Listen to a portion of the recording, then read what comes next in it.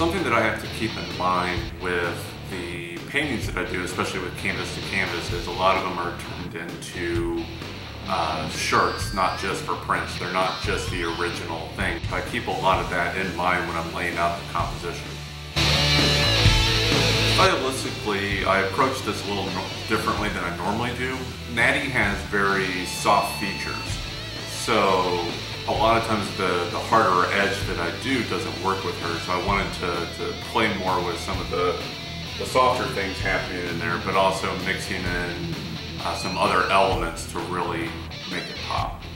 It's really important to me that the paintings don't just look like the, the subject but also feels like them. So there, there's a lot of little nuances with Natalya that I needed to uh, stay mindful of while I was doing this one. Uh, in the eyes, some of the elements around, uh, all to make a whole. Cat Say it again.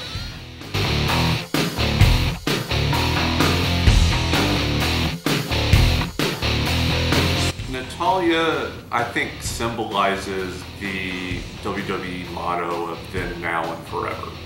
She's keeping the the Hart Dynasty alive, uh, also bridging from the Divas era of wrestling into the, the new women's era of wrestling, and building uh, some notable matches for the future.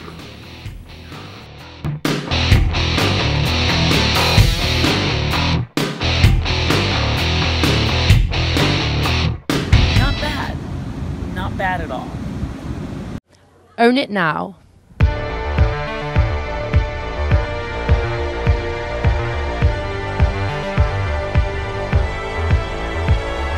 It's a new day. Yes, it is.